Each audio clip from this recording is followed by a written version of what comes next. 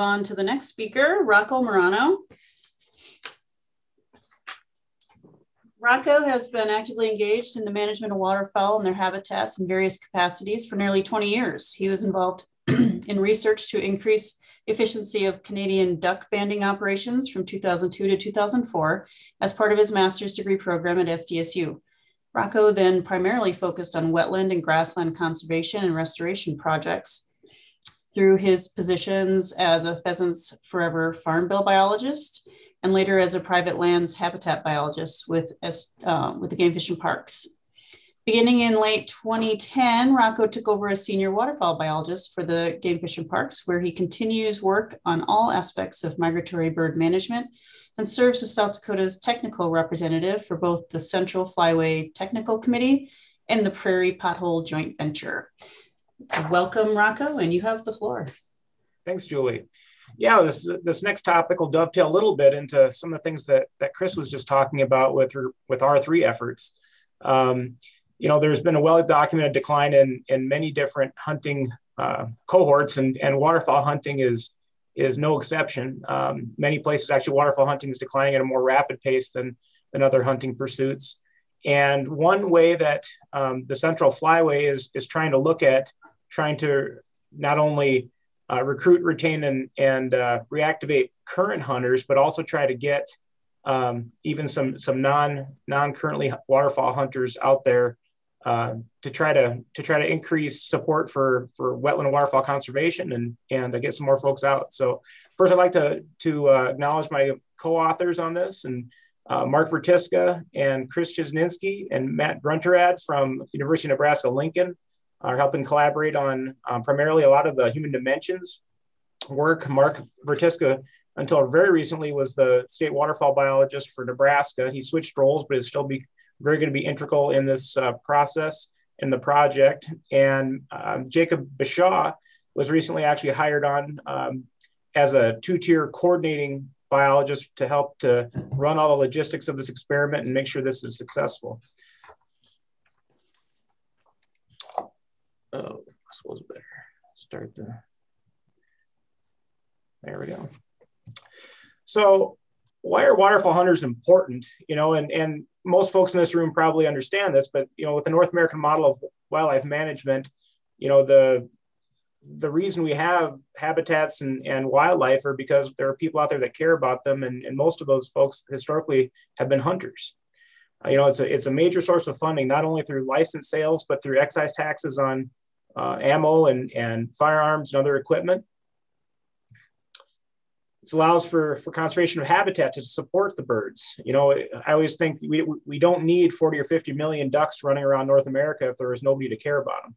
So, and the only way that we're going to have a long-term um, pool of funds for habitat conservation uh, for really any wildlife, but in particular waterfowl and, and uh, wetland dependent birds, are, is if there's waterfowl hunters out there to support them. And it all also boils down to social and political support. You know, nothing is done in the United States without strong political support. And things like the Farm Bill, what gets put in the Farm Bill? You look at the picture there on the left, that's an extremely bipartisan group of folks that support waterfowl conservation in this in this country, and you don't see that very much right now. Um, but th- that is still an area where we have really good political support and that's because there's a lot of folks that care about waterfowl and wetlands in this country. And we're trying to keep it that way. So this is just a graph of federal duck stamp sales, you know, really from the 30s all the way to the current period. And we, we saw a sharp decline um, beginning in the 1970s where, where sales peaked at just under two and a half million duck stamps. And you know, part of that's demographic. You know, we had a, a large generation um, kind of starting to age out. Um, but in, in the past, as duck species, as duck populations ebbed and flowed, duck stamp sales went up and down. Well, what happened in the 90s is that when waterfowl populations returned with, with the prairies getting wet, uh, duck stamp sales did not follow suit. And we, and we saw a, just kind of a stabilizing at a lower level um, for duck stamp sales. In the Central Flyway specifically, we lost about 50,000 duck hunters between 1999 and 2018. Uh, it's pretty significant, but if you look at Nebraska and South Dakota specifically, we lost an even higher percentage. Um, you know, between 1999 and, and 2019, we lost half our duck hunters. It's an attrition rate of about two and a half percent annually, or roughly 500 duck hunters per state per year, uh, which is is significant. And you know, you you you lose that that heritage and and the and the interest in the state, and it's hard to get that back. And what we're trying to do with this regulation experiment is see if we can remove some barriers um, to participation in, in waterfowl hunting and duck hunting is specifically. So as I mentioned, there, you know, it's it's widely known that that there's there's ramifications for declining in in hunters in general, but for waterfowl hunters and duck stamp sales, you know, it's it's pretty easy to figure out what those ramifications are. So based on um, you know projections, it, there was about 600,000 fewer duck stamps um, that were sold between 1995 and 2008 based on prior sales and what should have happened when the ducks returned um, after the, the droughts of the 80s. And that translates to about $126 million or between 42 and, and 80,000 hectares of wetland and grassland uh, habitat that is not protected because of that. So it's, it's real, it's real uh, impacts on the landscape. So how do you find out what are the barriers to participation of duck hunting? What we did is we asked people. And over the last several years, there's been several uh, human dimensions projects that we've cooperated with. Mean, uh, University of Nebraska Lincoln with Dr. Chizinski, and we've had a, uh, a barriers paper and a motivations paper that recently came out uh, with Matt Heinrichs' uh, graduate work that really dove into this. This is a really busy slide, and I apologize, but I'm going to try to walk through this a little bit. So we asked waterfowl hunters and non-waterfowl hunters, um, and based on uh, avidity or the avidness of, of, of the waterfowl hunters, um, what are the barriers to, to hunting? And if you look at um, that orange line there, you see identification, as you would expect for an avid hunter, isn't a re- really big deal. You know, zero is not limiting, four is very limiting. But as you go up the scale to disassociated and sporadic, you see a little bump. But then if you go to non-waterfowl hunters, but they're they're conservationists, they're anglers or big game hunters or small game hunters, that that increases. And that's kind of our target audience with this experiment, seeing if we can um, get some of the the conservation minded folks that currently do not duck hunt participating. And if you look closely, let, us say the combo user, which is a person that does one or more uh, outdoor activities like fishes and hunts or fishes and, and small game hunts or big game hunts. Um, that 1.48 is on par with things like cost, hunting skills, uh, travel. So it is a significant barrier to some of these folks. Um, so what we're trying to do is reduce barriers in places where we can. And what's really important when you look at those barriers is the amount of control that as an agency we have. Uh, and also the cost associated with that. You look at something like rules and regulations and waterfowl identification. We certainly have control over that. We can we can change that. Uh, the agency cost is relatively low. You know, it's it's it's not like you're going out and buying property. The scale of application is extremely large. Uh, you potentially can can impact the entire hunting population. When you look at something like land access, yes, we have control over it to a point, um, the cost is extremely high and the scale of application is medium.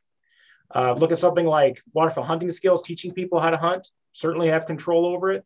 Agency cost is low, but the scale of application is low. It's kind of one person at a time, you know, teaching one person at a time ID skills or how to set decoys or how to call. It's all really important things, and we and we and we try to do uh, kind of a multi-pronged approach. But if you can do something at a very large scale at a low cost, I think it's worth a try. So the the goal of the, as you go out right now, you have you have a six duck limit. You know, may not include more than five mallards, and then there's all these other species and sex restrictions. And you know, while a lot of people do know their ducks, and especially if they're in plumage, you know, they don't always look like this, and that and that is an issue. This is you know some of those same species um, as they probably look um, more at, up in this end of the flyway. Uh, you know, you have a lot of female ducks. You have a lot of duck of drake ducks that are not in full plumage yet in September and October, and it's a it's difficult. It's, it's intimidating for people. I talk to people all the time that that uh, you know have this as a as a fear going out duck hunting. I always say to myself, you know, in any other outdoor pursuit or hobby or sport, who would go out and try something if the if the first time you had to go out, you had to be relatively proficient, and if you weren't, there was a chance you got a ticket. I mean, it's it, it's kind of exactly that situation folks put are put in. So we're trying to look at what happens if we take out the species restriction and uh, identification uh, in flight requirement for duck hunting. And we also have to look at risk versus reward. You know, as part of the run up to this experiment, we had to demonstrate that there would not be a undue uh, biological impact on any species that has a, a species specific restriction. So what we did is we went to the parts collection survey data and mined that data to see basically as a worst case scenario per unit of, of recruits that use this system, how many more pintail, canvasback, and, and hen mallards would potentially be harvested. And if you look at South Dakota data on the top there, you can see that for pintails, you get to, to a two bird bag and only 2% of the bags contained uh, two pintails. So if you extrapolate that out per 500, 1,000, and 2,500 additional hunters in South Dakota, that extrapolates out to 24 extra pintails and 61 extra pintails for and, and 12 at 500.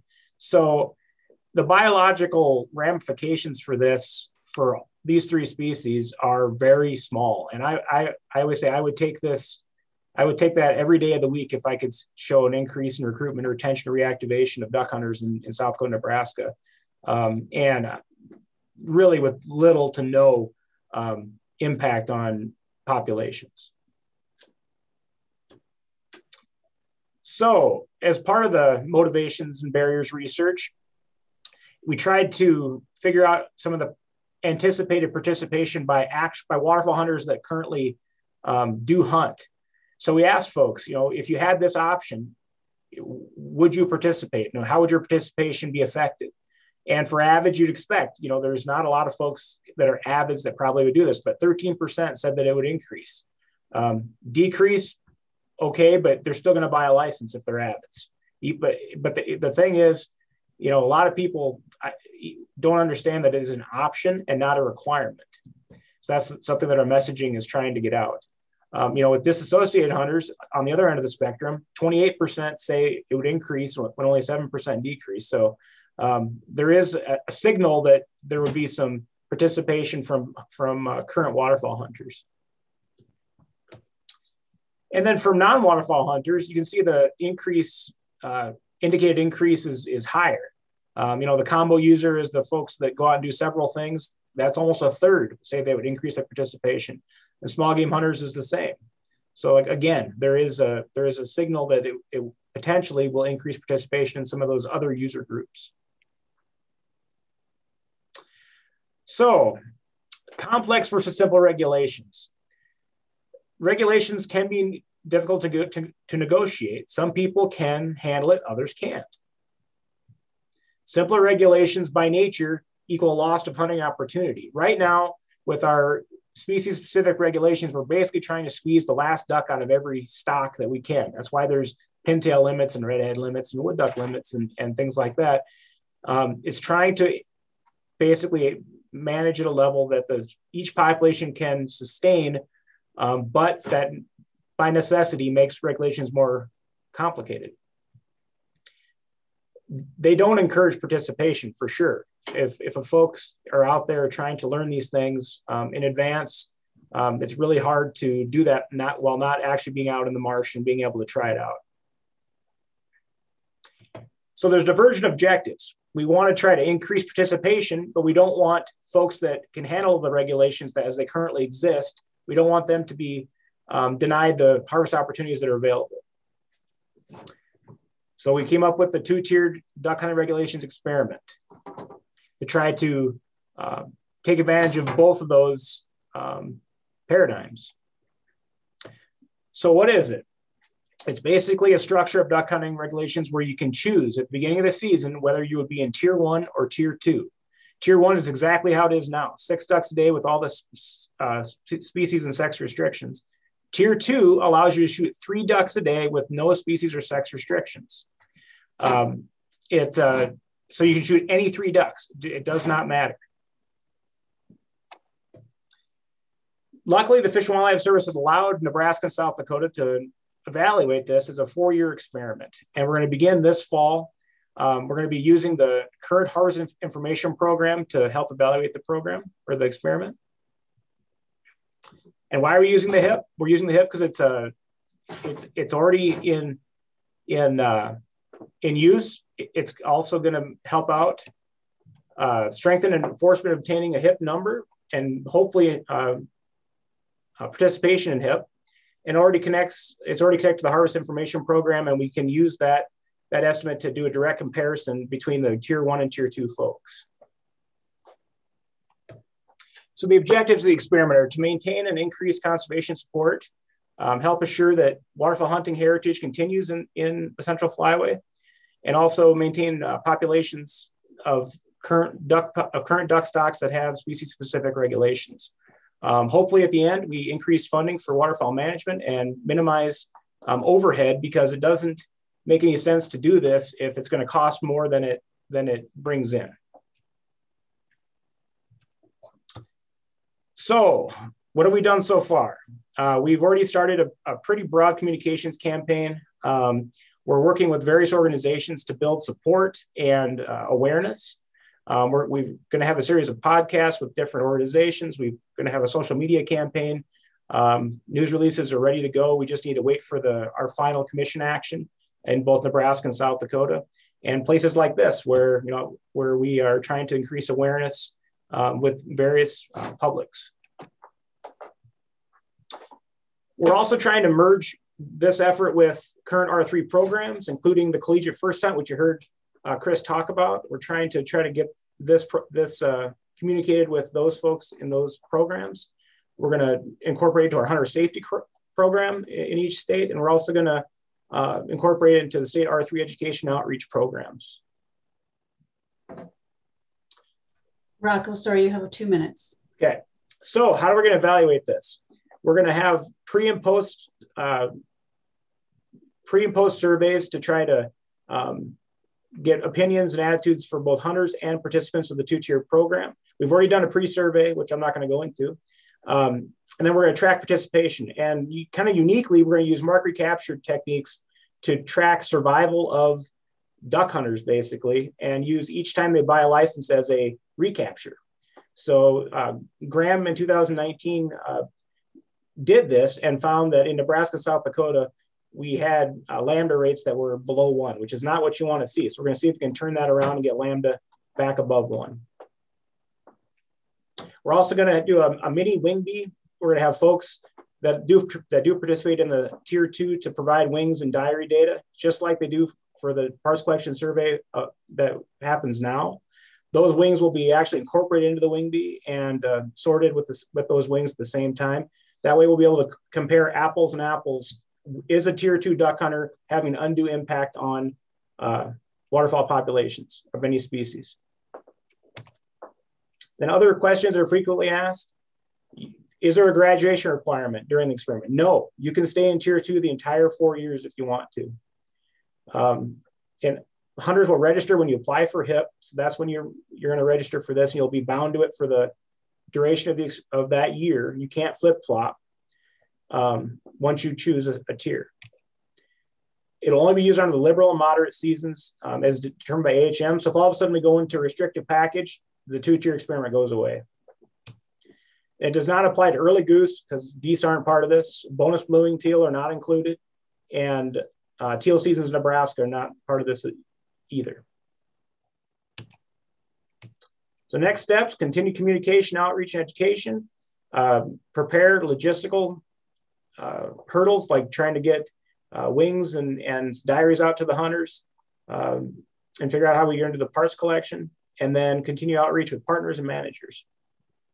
And at the end of this, what we're hoping for is a lot of smiles and, and first duck hunts like my daughter here from this year. So, questions? Um, actually, we're at time. So, Rocco, I'm going to have them just chat you with any questions that they might have, if that's all right. You bet. Okay. Thank